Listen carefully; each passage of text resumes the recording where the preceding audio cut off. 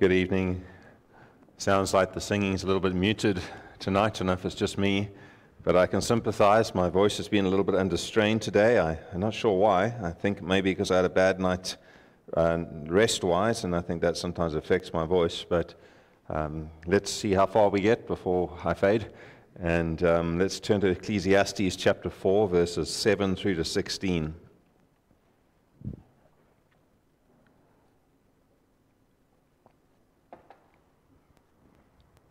Ecclesiastes 4, verse 7. Again, I saw vanity under the sun, one person who has no other, either son or brother, yet there is no end to all his toil, and his eyes are never satisfied with riches, so that he never asks, For whom am I toiling and depriving myself of pleasure? This also is vanity and an unhappy business. Two are better than one, because they have a good reward for their toil. For if they fall, one will lift up his fellow. But woe to him who is alone when he falls and has no one, not another to lift him up. Again, if two lie together, they keep warm. But how can one keep warm alone? And though a man might prevail against one who is alone, two will withstand him. A threefold cord is not easily broken. Better was a poor and wise youth than an old and foolish king who no longer knew how to take advice for he went from prison to the throne, though in his own kingdom he had been born poor. I saw all the living who move under the sun, along with that youth who was to stand in the king's place. There was no end of all the people, all of whom he led. Yet those who come later will not rejoice in him. Surely this also is vanity and a striving after wind. Let's pray. Our Father in heaven, give us the necessary grace that we require to walk before you and just to hear and deliver your word. Be with us now, we ask, for Jesus' sake. Amen. if you've ever seen the Godfather trilogy, you will know that it follows the rise of one Michael Corleone, youngest son of Don Vito Corleone, in the crime syndicate that we call the Sicilian Mafia. Over the course of the movies, Michael's power grows and grows, and the filmmakers want you to believe that he undertakes all that he does entirely for the preservation of his family and largely against his own, own will. However, it is also apparent that as the story progresses, he is capable of ordering ruthless violence even against those who are near to him. And though he professes to want to leave, to get out, his efforts at doing so are not so strong as they appear. First, he wants to stay in so as to get his revenge. Then, so as to retain his newfound power then to grow in riches, none of which he is ready to surrender in his professed desire to be legit. And so it is that as the film carries on, like the slave to sin that he is, he continues to live a life of wealth, power, and crime, and in time it costs him everything. Absolutely everything. And this is portrayed in two of the most powerful scenes coming at the end of the last film. In one, he symbolically hands over power to a young and ambitious relative and turns to leave the room. But as he turns, he watches over his shoulder as all his previously loyal lieutenants stoop to kiss the hands of the new Don, a powerful replication of a scene from the first movie when it was his hand that was being kissed. And eventually he shuffles away, tired, disillusioned, and already all but forgotten. In another scene, in the dying seconds of the film, he sits utterly alone, old and frail, in a dusty courtyard without anyone to offer him comfort. All his family are dead or have abandoned him. So he sits in the rickety chair, and then he slowly tilts forward and collapses into the dirt. And a dog comes up to his prone body to sniff at it with curiosity. And at that moment, the trilogy of films comes to its anticlimactic end. There are scenes that capture well the sort of people that we will read of tonight. The second section of Ecclesiastes, you remember, began with a poem about providence, sovereignty in chapter 3, and then further reinforced in that chapter with an explanation about eternal purposes. But from verse 16 of chapter 3, Solomon began to introduce a deal of a, a series of things that might cause uh, us to question God's control, supposed anomalies which are not really a threat to sovereignty at all. And following the example of other preachers and teachers, I liken this to a bus tour through Cape Town. But rather than stopping at the places that are more usually the beautiful sights, we also stopped at places that remind us of the effects of sin and the curse. The first stop might have been the Cape Town High Court, where we saw the anomaly of injustice, even in that place that's supposed to uphold justice. The second stop was at Maitland Cemetery and Crematorium, where we saw the anomaly of death in those rows of poorly kept, crumbling graves. The third stop was at the Iziko Slave Lodge at the foot of Company Gardens in Cape Town, and we saw the anomaly of oppression, past and present. The fourth stop was at the V&A waterfront, which looked pretty good at first, but then we saw the anomaly of envy driven work, always working so as to shop, so as to match or outperform one's neighbor. And for each of those supposed anomalies, Solomon began to give the, the beginnings of an answer. And for each of them, we would also look to the example of Christ and his teaching, he who lived in a fallen world under the sun. Now, tonight, we look at the final two stops on our bus tour of a fallen earth. The fifth stop is Rhodes Cottage in Muizenberg. At one time, the home of an immensely wealthy and powerful man, Cecil John Rhodes, having in modern terms close to 15 billion rand, yet who died gasping for breath and without any family around him. His stated reason for never settling down I have too much work on my hands. And ironically, some of his last words so little done, so much to do. This is the anomaly of isolation. And we'll look at it in verses 7 to 12. Again, I saw vanity under the sun, another in Solomon's list of vanities, and he describes a career driven man, a, an ambitious visionary who, like Scrooge, is always looking for more. But his hunger has left him isolated without any with whom to share his life. He has neither son nor brother. And understand that those represent two possible relatives that would have been the closest male heirs in the ancient world. But in this case, representative of any family, because it's not only the family, immediate family he has in mind. The actual Hebrew of verse 8 says, one person who has not a second, meaning no one with him. No one meaningful, no close human contact, not even a son or a brother. And it begs the question if enough is never enough, and if he has no one with whom to share the fruit of his labor, why is he laboring at all? Why is he amassing so much at such great cost to himself, foregoing the benefits of human companionship and society? He hasn't even asked himself that question for who am I toiling and depriving myself of pleasure? It's a, a single mindedness that is working for the sake of work to gain more while neglecting others.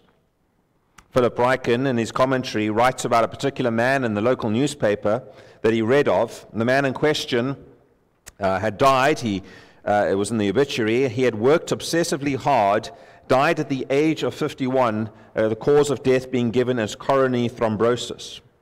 Yet those who knew him, it said, knew better at the office six days a week, often until eight or nine in the evening. It was the verdict of his friends and family that the man had simply worked himself to death. Tellingly, two things happened on the day of his funeral, presumably at the, the wake afterwards.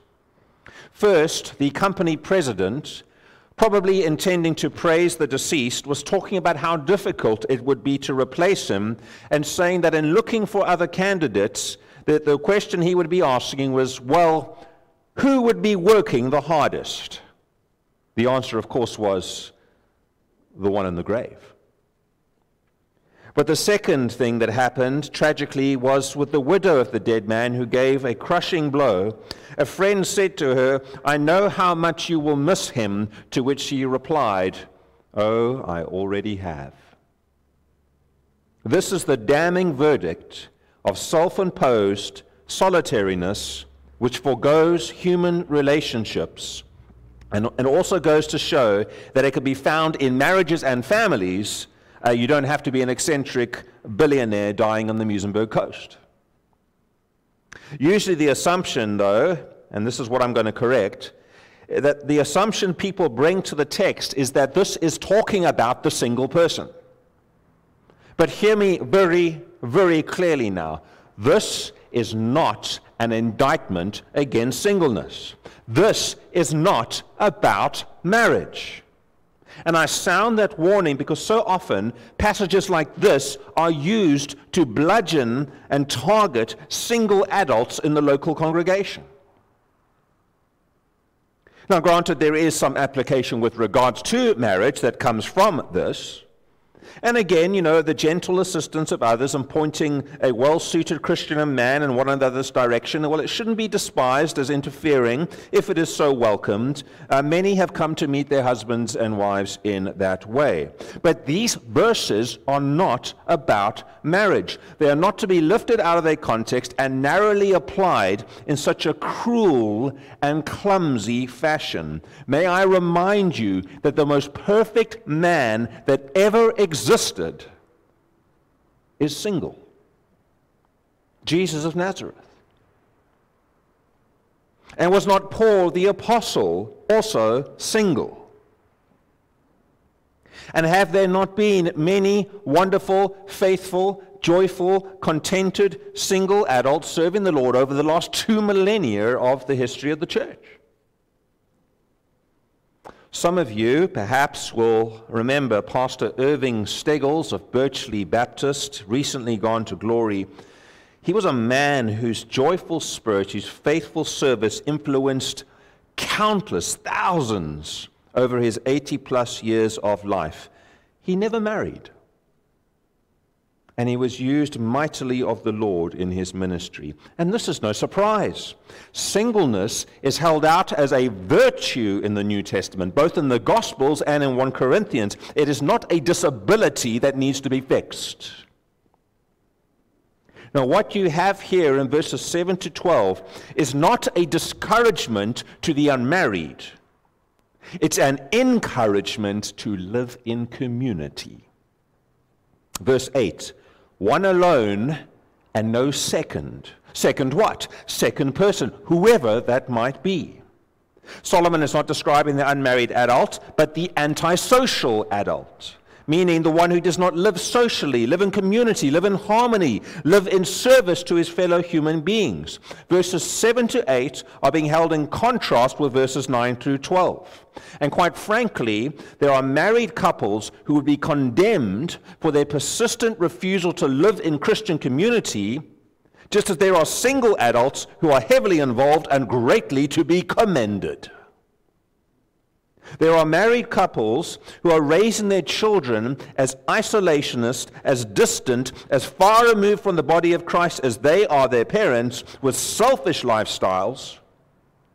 And there are unmarried single individuals who are exemplary church members actively seeking to give of their lives to others.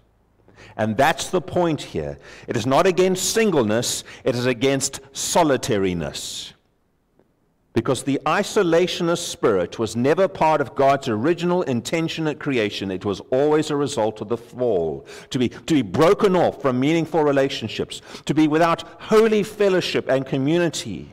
This is why it's an uh, anomaly in a world that is ruled by God. To see men and women more concerned with their own selfish desires than with their neighbor who is made in the image of God.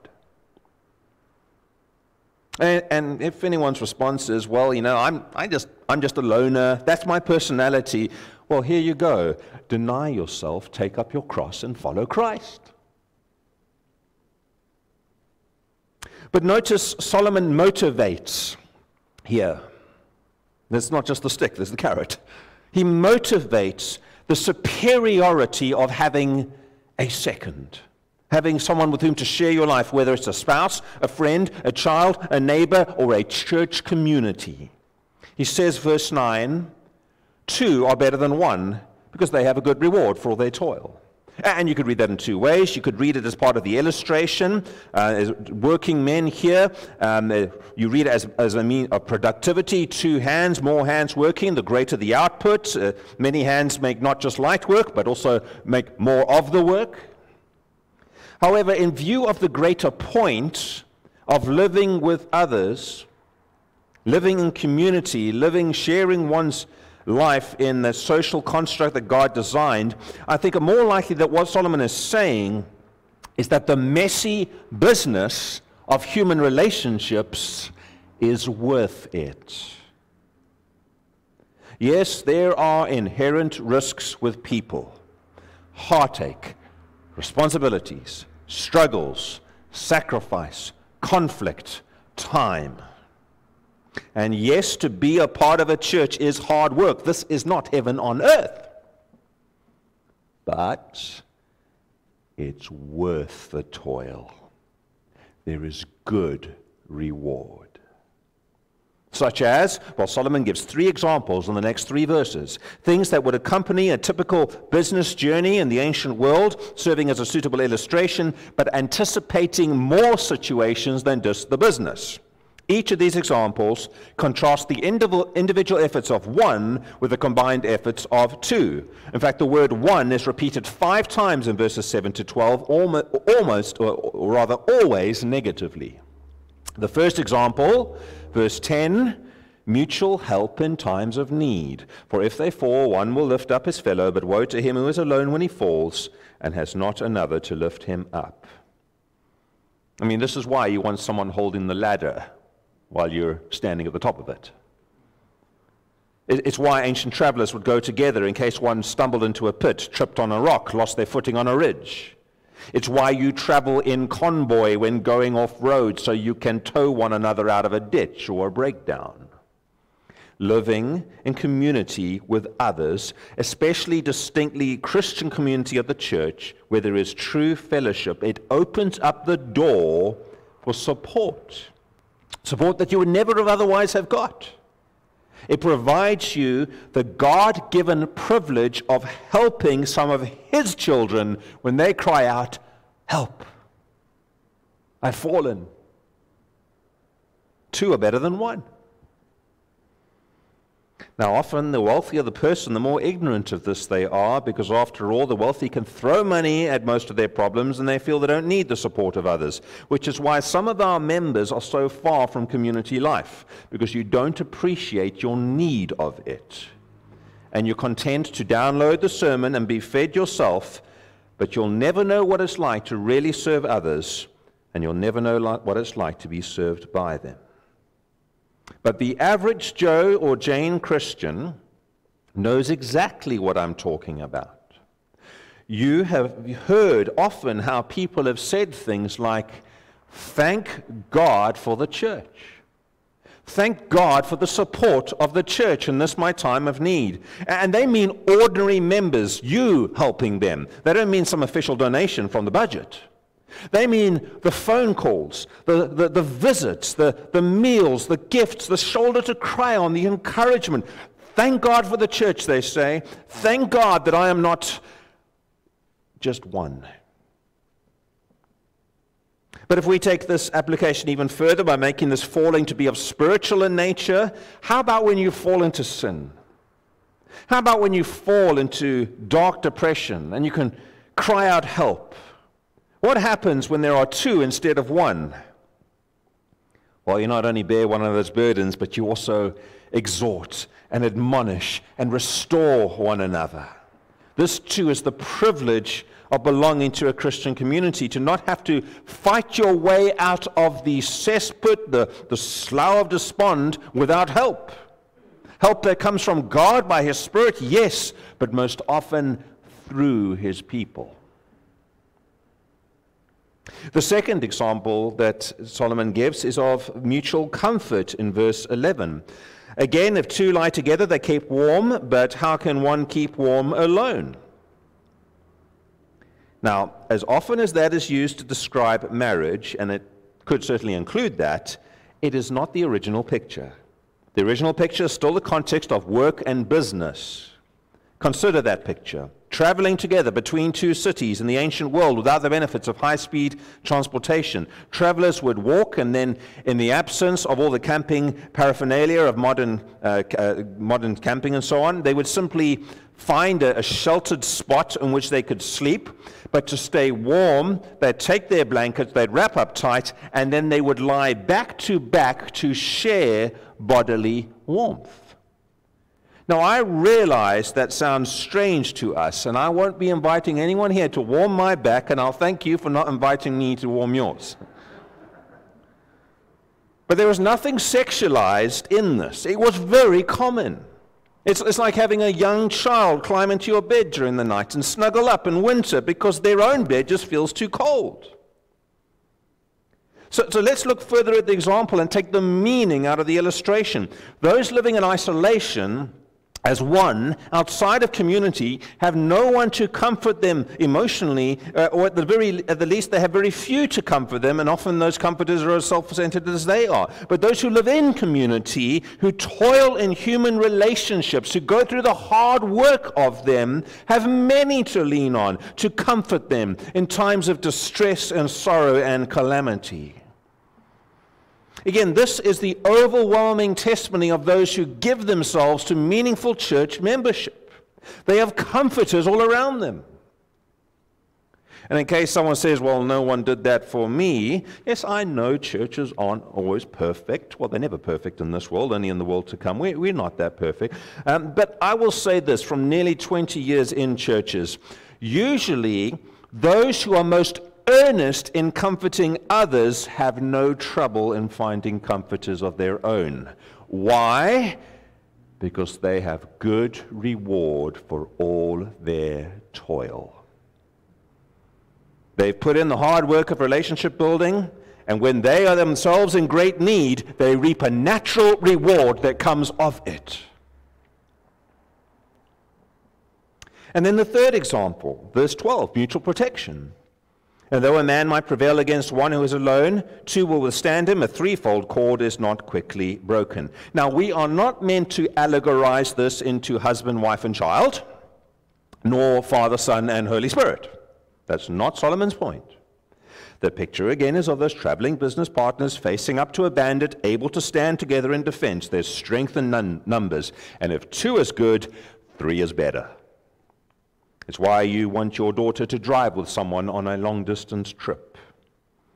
It's why you are on the emergency WhatsApp group of your street or close. But to take the application and direction that it's intended, it's why you need a spiritual community, a Christian community at your side. So that you may pray for one another in the face of spiritual temptations and danger and attack, in the face of indwelling sin or persecution or false accusation. The Christian is far better off when the righteous are with him because it's easier to stand, isn't it? It's easier to endure, to know that you're not alone to not have to think of every possible contingency by yourself, to, to take wisdom from the abundance of counselors, defense, comfort, help. They flow through this means of grace, the church, where there is not just one and not just two or even a threefold cord, but a whole company of the redeemed. So, so that's the anomaly of isolation and part of an answer. He contrasts it with the, the, the, benefit of, of a community. And we've taken the point. And we've finished now at Rhodes Cottage in Muizenberg. What then is the sixth and last stop on this limited tour of life under the sun? It is Rhodes Memorial. To see that impressive monument set up to commemorate the same man, Cecil John Rhodes, only upon arrival there, you immediately notice two things. First, half the people visiting have no idea who this guy is. He means nothing to them. Secondly, the other half of the people there are cursing him, saying he must fall, and celebrating because the statue has quite literally been beheaded. And so we see the anomaly of fickleness fickleness, va- variability, fading popularity, if you prefer, uh, forgotten glory. And it's what these next four verses describe. And Rhodes isn't alone. Others from history were once hailed and celebrated, now loathed and despised. And those who are celebrated today will be targets of tomorrow's criticism. Some justly, of course, just as some are justly criticized in history. I make no comment on that. But even the world recognizes the fickleness of people with respect to their heroes. It reminds me of something I heard in a movie years ago. It was some sort of political drama or thriller or something like that, in which the outgoing old president was giving advice to the incoming new president. And he said to his successor, in the top drawer of the presidential desk, you will find two sealed letters. The first time you get into trouble in your duties, open the first letter. The second time you get into trouble in your duties, open the second letter. And so the new president thanks the old president, and they go their separate ways, and soon enough, the new president is in trouble. And he remembers the letters and opens the first. It says simply, Blame everything on me. So he does. He, he blames his predecessor, and it works. He escapes the fallout. His popularity is intact. He's on, uh, on track for re election. But soon enough, he gets in trouble a second time, as politicians are wont to do, and he quickly and eagerly turns to the second letter, hoping to find his salvation. But as he reads it, his face falls because the words inside say, Start writing two letters. That's exactly what you see here. The old king, no one rejoices in him anymore. They blame him for everything. They hope in the new king. But soon enough, what happens? The new king becomes the old king, and another king is given savior status in the minds of the citizens, the electorate. Live a few years, and you'll see this repeated again and again in the election cycles. Remember the new dawn of South Africa from just a few years ago? I think we'd agree that enthusiasm, enthusiasm has been decidedly diminished over the last few years. And given enough time, there'll be more new dawns and there'll be more nights that people prefer not to remember. And no matter how many enterprising and charismatic leaders are put into positions of power, sooner or later they will fall short of people's expectations. They will be criticized, reviled, and frequently forgotten. And Solomon is commenting on this here in these verses. Only, unlike before, he gives a partial answer in verses 13 and 14 before stating the problem in verses 15 to 16. And you'll see why he reverses it in a moment. The beginnings of the answer, because Scripture has a lot more to say about this type of thing, is found in verse 13. He says, Better was a poor and wise youth than an old and foolish king who no longer knew how to take advice, for he went from prison to the throne, though his own kingdom, in his own kingdom he had been poor. I mean, that the rise from poverty through wisdom to a position of power, it's commendable. It's why self made millionaires like Richard Branson or Elon Musk are often more popular than those that are born into money. People admire their grit and determination.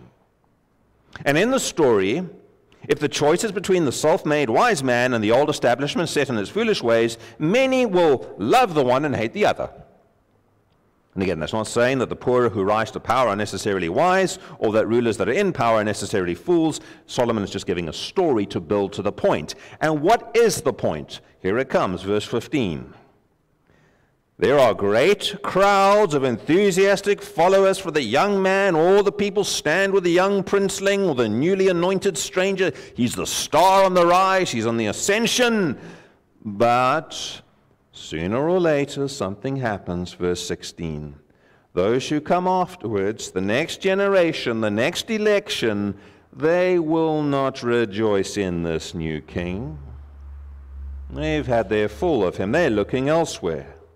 Whether he is wise or whether he is a fool, the fickleness of human beings will have its way. This is the anomaly. Popularity always fades. The darlings of the tabloids today are the villains tomorrow. And most especially in leadership, because people are always looking for someone to blame. And who better to blame than the leaders? It happened with Moses. when rabble among the people began to stir against him. It happened with David when worthless fellows wanted to stone him. It happened with Joseph in fact, Joseph may have been who Solomon had in mind. Remember, Joseph started off poor in another kingdom, wandering with his family in Canaan, and then he went from slave to prisoner to the ruler of the land of Egypt, second only to Pharaoh in power, hailed, celebrated by peoples near and far. But eventually, what happened? Exodus 1, verse 8 Now there arose a new king over Egypt who did not know Joseph, and the wise young man was forgotten he was not rejoiced over, despite his wisdom. Can you see the anomaly? Wise or fool, you're forgotten. And if you've ever been in any position of leadership in business, in the execution of civil governance, in schools, in churches, in clubs, in societies, in sports, or just with your kids at home, you will know what Solomon is getting at. Whether you lead wisely or whether you lead poorly, sooner or later the fickleness of sin will take heart of someone, some clique, and they will not rejoice in you. Why? Because of what you see here in Ecclesiastes. Because in the world's eyes, new is always better, and youth is always idolized. And people have high expectations, so that when leaders invariably fall short, the grumblings begin.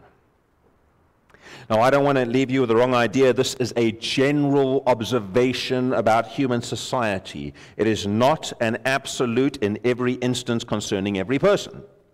The fact of the matter is, though, that we should hope and expect to see this sort of thing far less in Christian circles, in churches, because Christians are not meant to be led by sinful inclinations and ruled by sinful emotions. We're not meant to be fickle or capricious. However, the, the reality, though, is that Satan still prowls, he still strikes shepherds so as to scatter the sheep, he still captures people to do his will, as the letters of the New Testament make abundantly plain. There will still be foolish leaders, there will still be wise leaders, there will still be foolish members, there will still be wise members. But Satan is always on the prowl. And your job and my job is to be like the wise, verses 13 to 14, without letting the anomaly of fickleness mark us as those in verses 15 to 16. That brings us then to the third and final point the one who knows your struggles and sympathizes with your weaknesses. Now, for the third, third time, we consider the example and continued teaching of the Lord Jesus Christ in the New Testament in the face of these supposed anomalies of sovereignty. We've already seen so far how he felt the sting of injustice in the courts. He tasted the bitterness of death in the tomb. He endured the chains of oppression as he was uh, carried away by those mobs. He was tempted by Satan and his own disciples towards materialistic envy.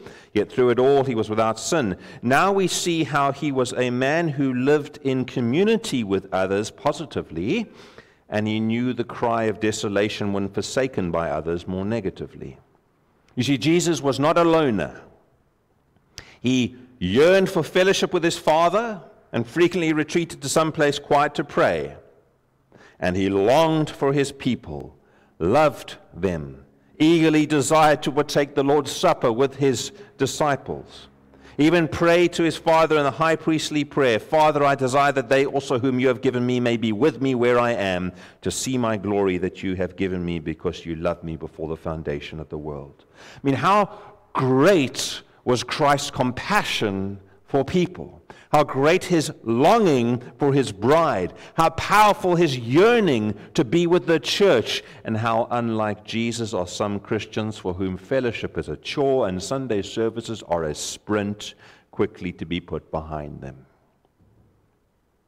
Christ Jesus, for whom and by whom all things were made, created mankind to live not alone, but with a second and a third and a fourth and a fifth, the ecclesia, the gathering, the assembly, the body. He created us to be a people, not a collection of scattered persons. And he modeled that in his living. He gathered to himself his people. And you cannot be a Christian while in willful isolation. It's just not possible because to do so would require you to purposefully disregard hundreds of Jesus' own commands.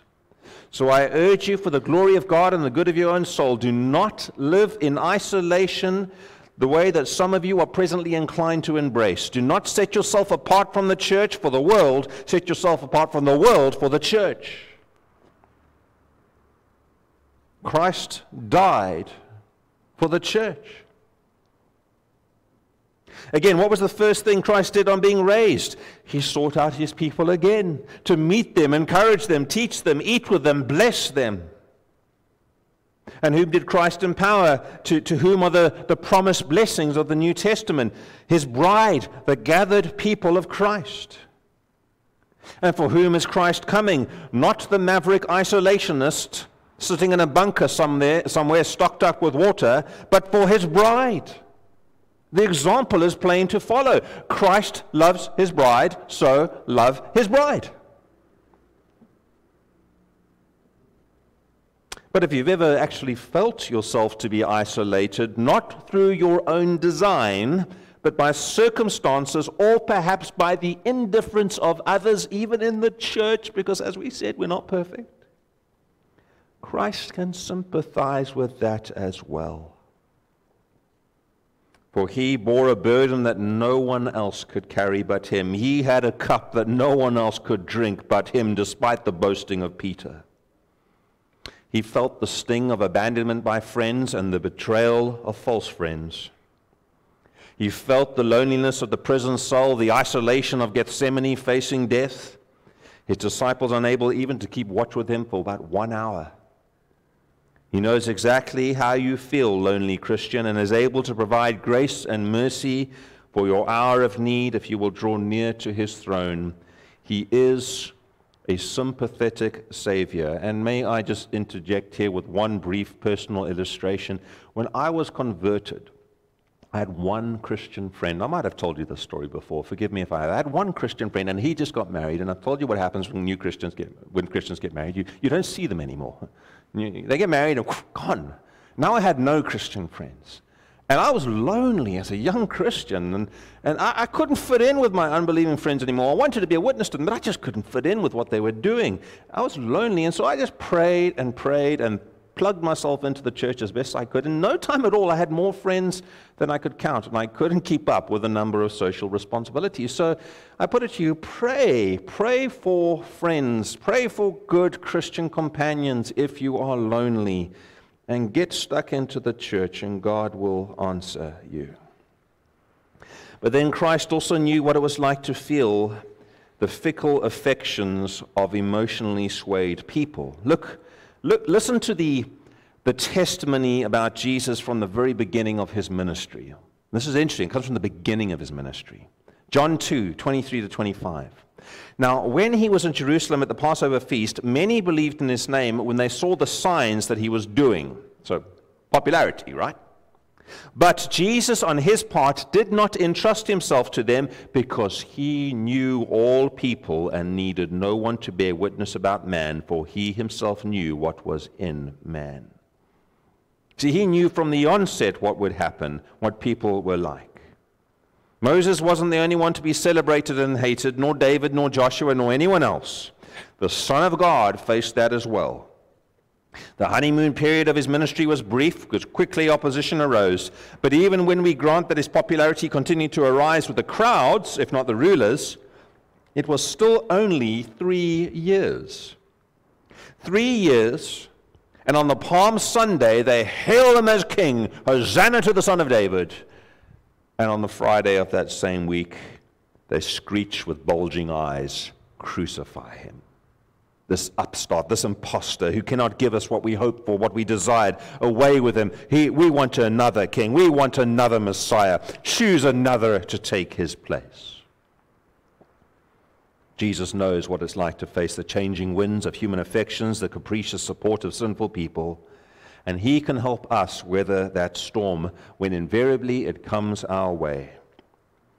2,000 years of church history have not changed human hearts for the better. Mankind is every bit as fickle today as back then, though we pray not in the church. Only remember that while this appears to be an anomaly to sovereignty, as we said all along, there's no such thing, because though it can cause Christians to question, it is not a denial of sovereignty. There is an appointed time for everything under the sun. And God makes everything beautiful in its time, including the fickleness of man. Why then does God let you face it? Why does it happen at all? Well, if you were to go through the New Testament, you could say possibly to build character, to grow faith, to reduce your pride, but especially that we might share in the sufferings of Christ, becoming like him in his death so as to become like him in his resurrection. He leads us into the valley of the shadow of death as he was led. He allows messengers of Satan to torment us as they did Paul. He permits companions to turn on us as they did David. He lets faithfulness be forgotten as it was for Joseph, but not by him. And why does God do these things? Why does Christ lead us into these situations? Not so that we would be alone, but that so we could be alone with Him so that we might know his grace is sufficient for us and his power is made perfect in weakness. And then he sends comfort, most often through the church. 2 Corinthians 6, verses 6 to 7. But God, who comforts the downcast, comforted us by the coming of Titus, and not only by his coming, but also by the comfort with which he was comforted by you, as he told us of your longing, your mourning, your zeal for me, so that I rejoice still more. There's Paul in the depths of depression, comforted by the coming of a Christian. Who sent that Christian? But God sent him. So do not lose heart when facing fickle support of fickle people who are worldly at heart, know that Christ Himself stands with you and will be your deliverer in the end, so that your lives do not end with a sad look over your shoulder at the fickleness of man and lost glory, like Michael Corleone leaving the room, or not with a lonely tilt into the dust, utterly forgotten to be sniffed at by dogs, but rather you will end your life saying, He never left me. He never forsook me. My God is faithful to the very end. Let's pray.